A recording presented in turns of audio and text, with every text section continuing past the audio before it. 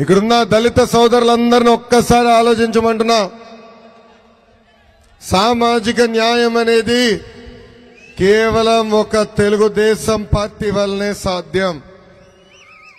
ఆనాడు బాలయోగి గారిని దళిత స్పీకర్గా చేసిన పార్టీ తెలుగుదేశం పార్టీ. అదేవిధంగా ప్రతిభా భారతి గారిని ఆంధ్ర రాష్ట్ర అసెంబ్లీకి స్పీకర్ చేసిన తొలి మహిళ స్పీకర్ చేసిన పార్టీ తెలుగుదేశం పార్టీ. అంతెందుకు నేను పంచాయతీరాజ్ గ్రామీణాభివృద్ధి శాఖ మంత్రిగా ఉన్నప్పుడు ఊర్లో ఎలాంటి అభివృద్ధి కార్యక్రమాలు ప్రారంభం అవ్వాలంటే ముందల దళిత కాలనీ నుంచే ప్రారంభించమని ఆనాడు ఆదేశాలు జారీ రండి చేస్తాం జరిగింది. చప్పట్లో.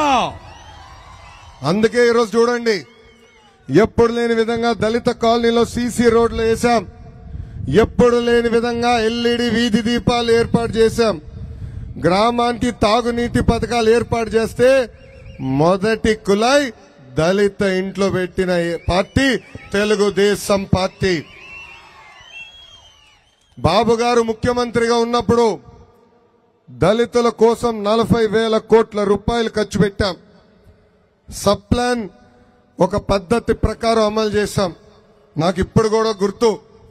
నక్క ఆనందబాబు గారు మంత్రిగా ఉన్నప్పుడు మార్చి ముప్పై ఒకటి నాడు డబ్బులు మరిగిపోతాయంటే అర్ధరాత్రి నాకు ఫైల్స్ పంపించి ఫోన్ చేసి ఇమ్మీడియట్గా మా కాలనీకి మిగిలిన ఈ రోడ్లు శాంక్షన్ చేయమని అర్ధరాత్రి ఫోన్ చేసేవారు. అంతేకాదు బాబు గారు ముఖ్యమంత్రిగా ఉన్నప్పుడు విదేశీ విద్య PG fee reimbursement best available school ఇట్లా అనేక సంక్షేమ కార్యక్రమాలు దళితుల కోసం ఆనాడు ప్రవేశపెట్టాం. ఇన్నోవా కార్లు ఇచ్చాం. జేసీబీ ఇచ్చాం. హిటాచి కూడా ఇస్తాం జరిగింది. రెండు లక్షల డెబ్బై నాలుగు వేల దళిత కుటుంబాలకి రుణాలు అందించి స్వయం ఉపాధి కూడా కల్పించిన పార్టీ మన పార్టీ తెలుగుదేశం పార్టీ. కానీ రెండు వేల పంతొమ్మిది ఎన్నికల్లో ఒక్క అవకాశం అని ముద్దులు పెట్టి ఒక సైకో ఆంధ్ర రాష్ట్ర ముఖ్యమంత్రిగా గెలిచాడు. సైకో అని ఎందుకు చెప్తున్నానో నేను వివరించాల్సిన అవసరం కూడా నా పైన ఉంది.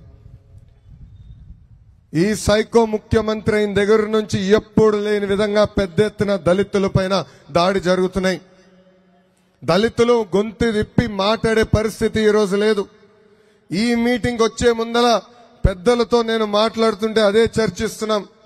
సంఘాలు కూడా ఈ రోజు ఈ ప్రభుత్వం వ్యతిరేకంగా మాట్లాడే పరిస్థితి లేకుండా పోయినాయి.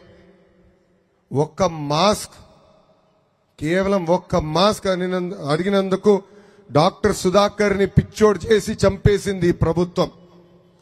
డాక్టర్ సుధాకర్ గారి కుటుంబాన్ని పరామర్శించడానికి నేను వెళ్ళినప్పుడు వాళ్ళని అడిగాను సుధాకర్ గారు డాక్టర్ అవ్వాలని కోరిక ఎలా వచ్చింది? ఆయన చిన్నప్పుడు అంటే సుధాకర్ గారు చిన్నప్పుడు వాళ్ళ తండ్రి హాస్పిటల్కి వెళ్తే హాస్పిటల్లో చెప్పారంట నువ్వు దళితుడివి నీకెందుకు ట్రీట్మెంట్ అని. అప్పుడు సుధాకర్ వాళ్ళ తండ్రి నిర్ణయించుకుని మా కొడుకుని బాగా చదివిస్తా మా కొడుకుని ఒక డాక్టర్ చేస్తానన్నాడు. అలా డాక్టర్ సుధాకర్ గారు ఒక గోల్డ్ మెడలిస్ట్ అయ్యారు. అలాంటి డాక్టర్ సుధాకర్ గారిని ఎట్లా చంపేశారో మనందరం చూసాం ఇంకో పక్కన చీరాల్లో ఒక కుర్రోడు కోవిడ్ అప్పుడు మాస్క్ వేసుకుంటాం మర్చిపోయాడు. నడి వీధులు ఆపి చితక బాది చంపేసింది ప్రభుత్వం.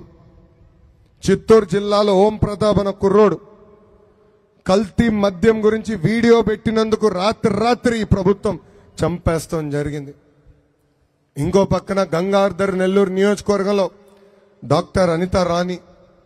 ఆమె వైకాపా నాయకులు చేస్తున్న అవినీతి వ్యతిరేకంగా మాట్లాడినందుకు ఆమె బట్టలు మార్చుకుంటున్న సమయంలో వీడియోలు తీసి విడుదల చేశారు వైకాపా నాయకులు.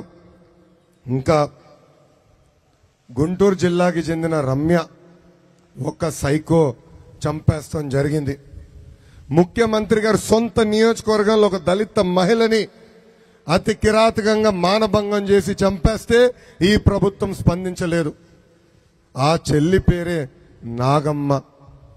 ఇంకో పక్కన తాడిపత్రిలో సిఐ ఆయన పేరు ఆనందరావు గారు.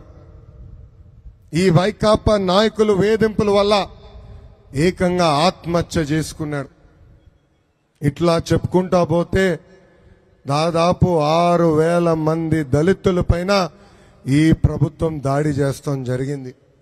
నిన్నగాక మొన్న నందిగామలో శ్యామ్ కుమార్ అన్న కుర్రోడిపై ఏకంగా మూత్రం పోసి అవమానించింది ఈ ప్రభుత్వం. నా సొంత నియోజకవర్గం మంగళగిరి నియోజకవర్గంలో దళిత రైతులు వాళ్ళ భూ హక్కుల కోసం పోరాడితే వాళ్ళకి సంఖ్యలేసి జైలుకి పంపించింది ఈ సైకో ప్రభుత్వం. దళితులకి రావాల్సిన ఇరవై ఏడు సంక్షేమ కార్యక్రమాలు కూడా ఈ ప్రభుత్వం రద్దు చేస్తాం జరిగింది. తూర్పు గోదావరి జిల్లాకి చెందిన ఎమ్మెల్సీ అనంతబాబు గంజాయి మొత్తులో అతని డ్రైవర్ సుబ్రహ్మణ్యన్ ఎట్లా కిరాతకంగా కొట్టి చంపేసి శవాన్ని డోర్ డెలివరీ చేశారో మనందరం చూసాం ఆనాడు ఈ సైకో పెద్ద పెద్ద మాటలు మాట్లాడాడు. పార్టీ నుంచి సస్పెండ్ చేస్తున్నా ఆ వ్యక్తి నా పార్టీలోనే లేడని.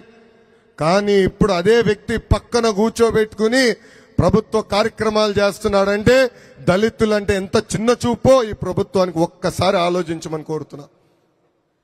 నాడు నేడు ఎప్పుడు దళితులకు అండగా నిలబడింది తెలుగుదేశం పార్టీ.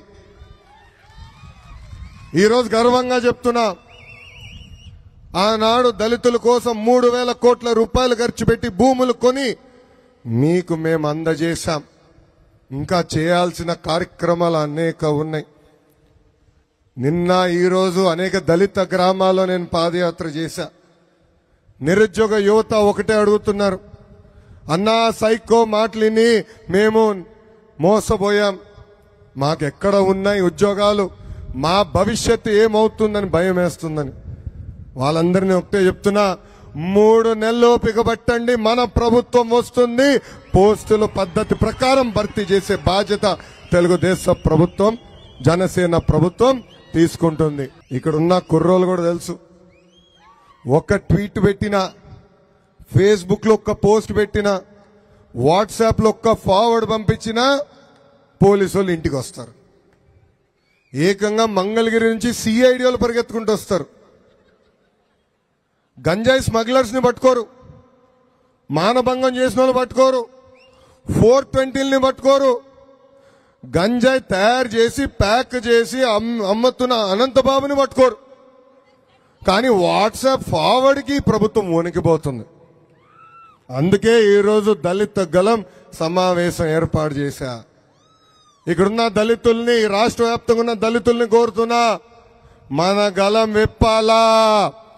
ఆ సైకో జగన్ తాడేపల్లి కొంపలో కుర్చీ నుంచి కింద పడే విధంగా మనందరం పోరాడాలని ఈ సభాముఖంగా దళిత సోదరులందరినీ నేను కోరుతున్నా. అంతేకాదు దళితులందరూ ఒక్కసారి ఆలోచించాలా? తెలుగుదేశం పార్టీ అధికారులు ఉన్నప్పుడు ఏనాడైనా ఒక్క దాడి జరిగిందా? ఏనాడైనా ఒక్క హత్య జరిగిందా? ఎవరన్నా దళితుల వైపు అసభ్యంగా చూడాలంటే భయపడేవారు. అది చంద్రబాబు నాయుడు గారి పరిపాలన. దయచేసి మాయ మాటలు మనల్ని నమ్మద్దండి. మన ఆత్మగౌరవం కోసం మనం పోరాడాలి. ఈ వైకాపా నాయకుల అహంకారం తగ్గాలి. దళితుల ఆత్మ గౌరవం గెలవాలని ఈ సభాముఖంగా దళిత సోదరులందరూ నేను కోరుకుంటూ